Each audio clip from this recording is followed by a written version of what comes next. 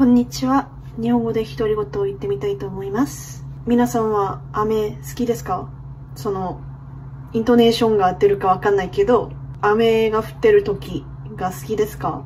はい。私は好きだと思います。その理由は、雨の音が好きです。雨の音を聞きながら寝るのが好きです。でも、やっぱり大きい都市言葉がったんだけど忘れてしまいました。すみません。都市？큰都市？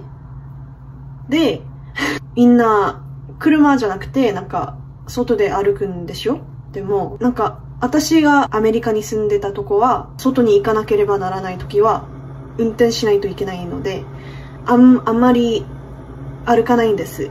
でも、ソウルとか東京だったらみんな歩くので多分ちょっと好きじゃないですね。